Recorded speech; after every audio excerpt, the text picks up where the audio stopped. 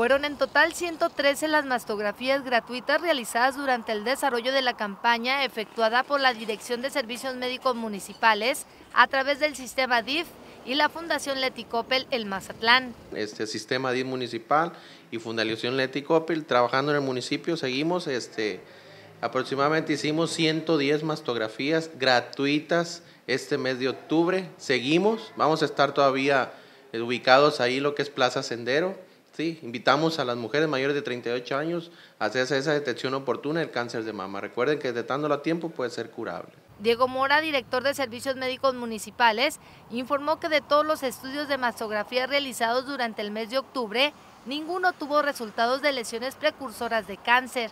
Agregó que es importante que las mujeres se realicen de manera permanente los estudios de mastografías, pues cuando el cáncer se detecta a tiempo, es curable. Gracias a Dios no, no, no hubo casos sospechosos de algún, algo sugestivo de cáncer de mama, ¿no?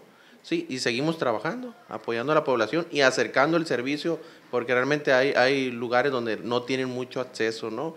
Por ejemplo, o están muy alejados, por ejemplo, Blarrón, El Quelite, donde ya hemos estado trabajando, Gualamo también, entonces acercando este servicio, sí, a muy bajo costo. Las mujeres que deseen realizarse el estudio de mastografía a bajo costo pueden acudir a la unidad médica móvil ubicada durante estos días en el área de estacionamiento de la Plaza Sendero. Con imágenes y edición de Pedro Velarde, reportó para las noticias TVP Verónica Redondo.